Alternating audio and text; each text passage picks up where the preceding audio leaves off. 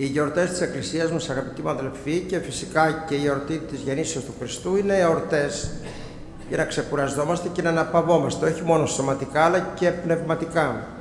Δηλαδή να ξεκουράζεται ο άνθρωπος, γι' αυτό και υπάρχει και η αργία, αλλά συγχρόνως να ξεκουράζεται και η ψυχή του ανθρώπου, γιατί ο Χριστός δεν ήρθε απλώς για να φέρει κάποιες καινούργιε γιορτές και δεν ήρθε απλώς ο Χριστός για να ανακαινήσει το θρησκευτικό τοπίο της εποχής εκείνης, ούτε να δημιουργήσει μια επιπλέον θρησκεία.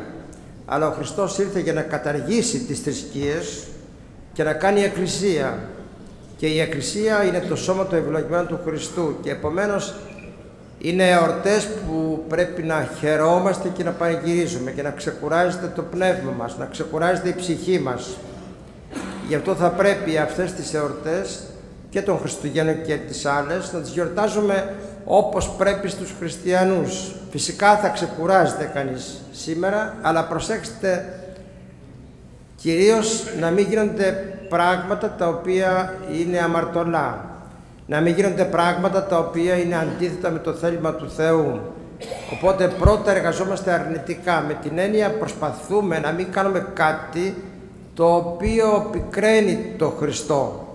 Δηλαδή επιδιώκουμε να έχουμε ειρήνη μέσα στις οικογένειές μας, ιδιαίτερως δε αυτές τις ημέρες. Αυτό είναι το αρνητικό και το θετικό. Προσπαθούμε να κάνουμε λίγη προσευχή περισσότερο, μια ηρεμία περισσότερο, να διαβάσουμε κάτι χριστιανικό, κάτι πατερικό από τους πατέρες για να καταλάβουμε το νόημα αυτό της μεγάλης αυτής γιορτής. Και έτσι έρχεται ειρήνη μέσα στην καρδιά μας.